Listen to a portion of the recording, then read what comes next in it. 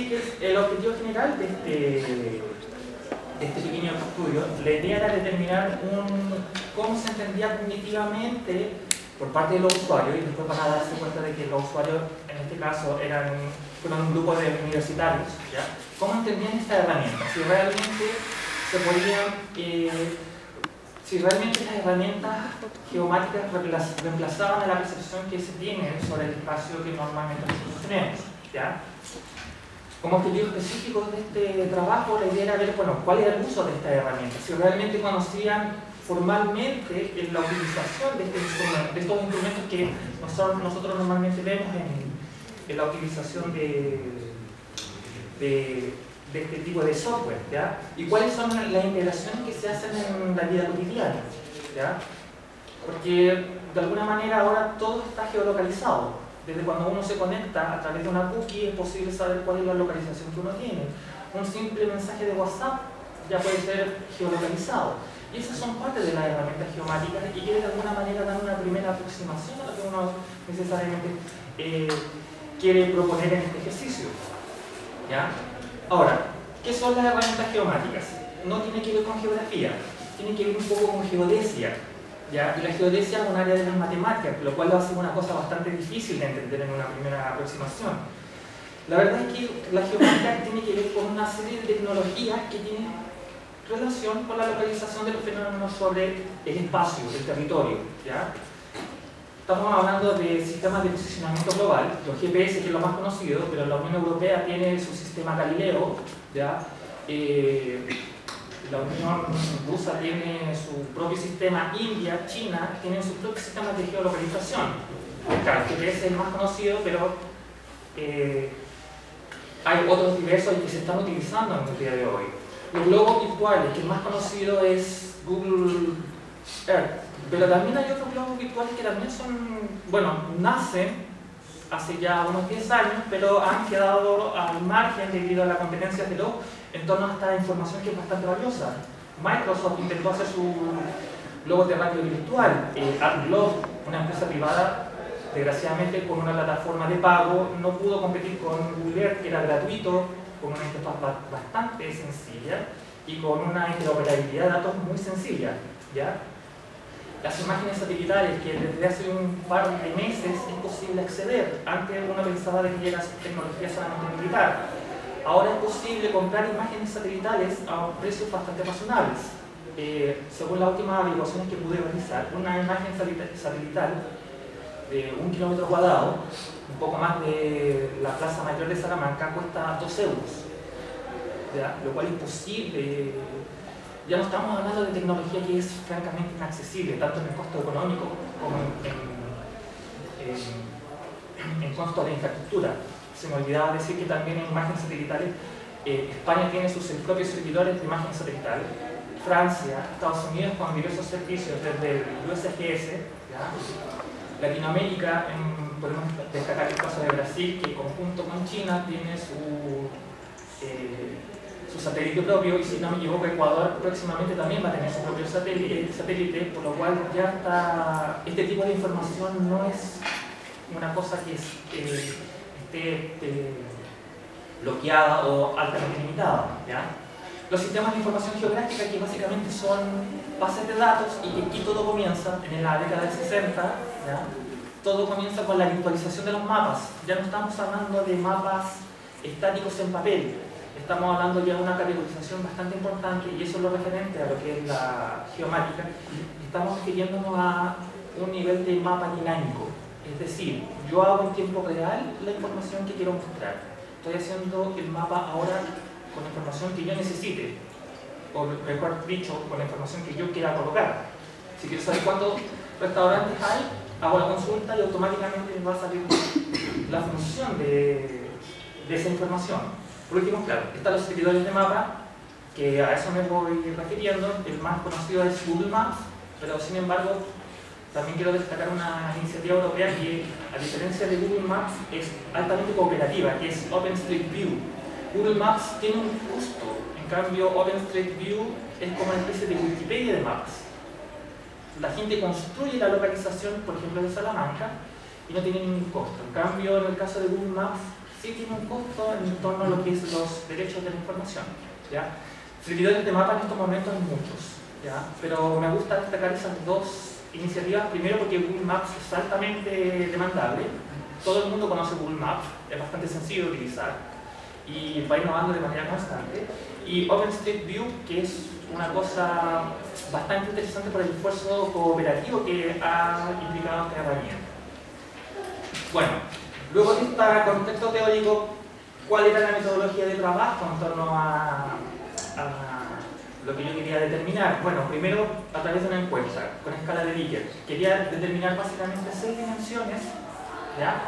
La primera dimensión, bueno, las características generales de la población, en este caso género, edad, país, después voy a explicar dónde son principalmente los, los encuestados.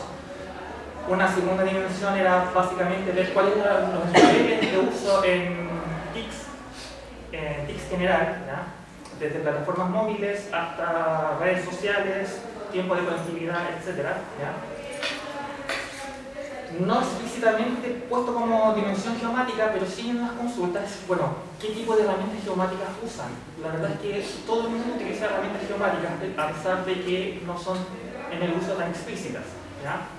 Y luego ya la dimensión 4, 5, 6, referente a cuáles son las dimensiones un poco más personales y cognitivas en torno a la utilización de esta herramienta.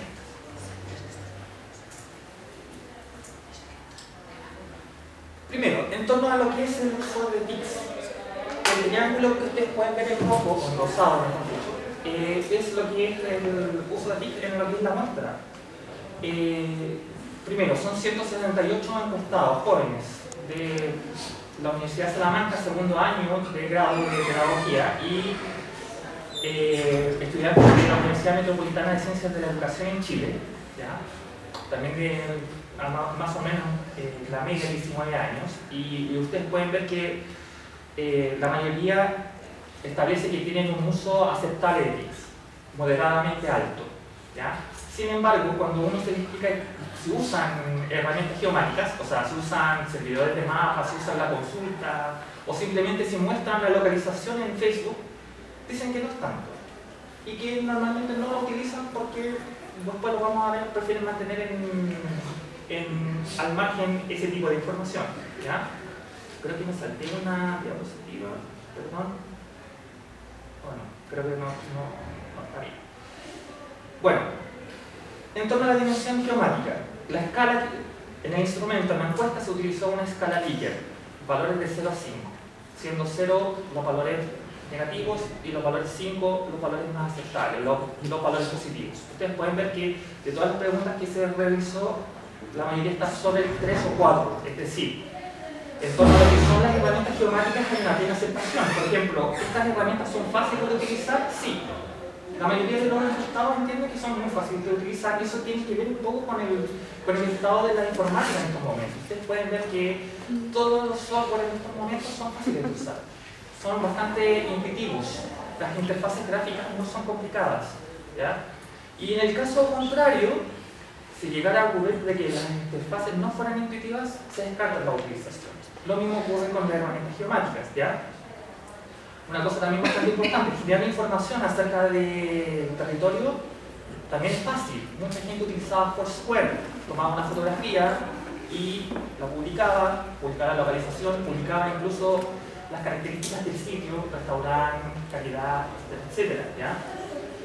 Eh, por lo cual, claro, de, de, manera general uno puede establecer que dentro de las herramientas geomáticas hay un entendimiento, hay un uso constante, a pesar que no es formal cuando uno se va a la formalidad en términos, por ejemplo, de lo que es coordenada, escala, datum, etcétera, etcétera, los usuarios no entienden. Pero sin embargo, la informalidad sí se entiende perfectamente y eso es bastante bueno. ¿Qué pasa con la dimensión territorial? Aquí uno pregunta, bueno, estos programas copian lo que uno ve en los paisajes, por ejemplo, cuando uno utiliza Google Street View y ve un edificio, o cuando uno ve un mapa de una planta de un edificio determinado, es lo mismo que yo puedo sentir o relacionarme cuando yo estoy viendo lo que ocurre en la realidad. Aquí ya la cosa también existen grados de variabilidad. ¿ya? Hay una cosa bastante clara, ustedes pueden ver en la pregunta 20. Eh, en un primer momento estos software permiten una buena impresión, un buen entendimiento de la información que se está visualizando. Eh, otro elemento bastante, bastante importante que también se consultó es, bueno, eh, ¿qué pasa con la información territorial que ustedes consultan habitualmente? ¿Es preponderante? Y un buen número dijo que sí. O sea, cuando yo consulto información TIC, por ejemplo en redes sociales, la información territorial va en paralelo dónde se realiza un tweet o dónde está cierto negocio o dónde está ocurriendo un hecho, es parte de, también de esta herramienta geomática. Ahora entramos en las dimensiones eh, cognitivas de en torno a lo que es la percepción de la herramienta. Bueno, aquí se hicieron preguntas bastante directas como, bueno, eh, usando estos programas me siento como en el lugar en que consulto. Y la verdad es que ustedes pueden ver que los valores van menores a 3. O sea, la gran mayoría de los jóvenes encuestados dice que estas herramientas no reemplazan los lugares en sí. A pesar que uno tiene una primera aproximación del lugar, una visualización de lo que yo estoy viendo, no reemplazo el lugar a la escena de la realidad que estoy logrando ver en, en, en su contexto real. Es lo mismo que sucede con una llamada de Skype, que es una cosa bastante interesante una llamada de Skype no reemplaza la interacción normal de las personas. Puede de alguna manera emularla, pero no reemplazarla. Lo mismo ocurre necesariamente con estas herramientas geomáticas. Uno puede mostrar un lugar, pero sin embargo, el sentimiento, eh, la topofilia, estos sentimientos de afecto que se tienen frente a estos lugares no se pueden reemplazar. La dimensión de la significancia y la comunicatividad, es decir, que yo puedo eh, expresar a través de, de esta herramienta es la que sufrió mayor variabilidad. Ustedes pueden ver que hay algunos puntos que tienen sobre 3, sobre 4 incluso, y otros que tienen bajo 2. ¿ya? Y claro, por ejemplo, una pregunta tan eh, concreta como ¿estas herramientas pueden reemplazar la realidad? No. La mayoría piensa que no. Pero en, en, yo puedo visualizar y entender más información que la simplemente mostrada los encuestados establecen que sí, es posible a través de este sinnúmero de herramientas que normalmente se utilizan. Bueno, finalmente como conclusión, las conclusiones que se llegaron en este pequeño estudio fueron las siguientes. Bueno, existe un sentido de, de territorio, de espacio, de lugar que no puede ser reemplazado con, hasta el momento con estas herramientas. Y tiene que ver en un primer momento quizás por, por la forma en que nosotros estamos utilizando necesariamente eh, los tipos de herramientas informáticas que existen. Quizás tal vez cuando se llegue a un próximo nivel, como son herramientas ya vectibles, variables como Google Glasses, eh, quizás lleguemos a otro nivel en el entendimiento del territorio. Bueno, ahí habría que hacer este, este, este estudio. ¿ya? Otro elemento bastante importante, eh, los elementos afectivos y emocionales no son transferibles de esta manera digital. Y cuando estamos hablando de elementos afectivos y emocionales del territorio, a pesar que estamos hablando de mapas dinámicos, mapas de tiempo real, de todas maneras no se pueden reemplazar. Eh, una cosa sí bastante importante es que existe una potencialidad bastante importante de esta herramienta. El desarrollo de las interfaces, las gráficas, el despliegue de los datos espaciales es bastante llamativo para todos los usuarios. Por lo cual tiene una gran potencialidad eh, en torno a lo que posiblemente puede ser en la enseñanza, eh, la creación de contenidos o necesariamente la el compartir información eh, en tiempo real. ¿ya? Y por último, bueno, existe un grado de correlación importante, ahora no me acuerdo del número, entonces lo tenía en tal, te dije voy a eliminar todas las talas para no ocurrir con números, ¿ya? Eh, en torno a lo que, lo que nosotros entendemos por territorio, la información que hay y normalmente lo que se presenta es bastante alta entre los usuarios. ¿ya? Es decir, mientras más información territorial yo manejo y mientras más información en torno al uso de FIX tengo, normalmente puede ser mayor uso de énfasis en, en términos de herramientas geomáticas. Y bueno, eso es la presentación. Muchas gracias por su atención.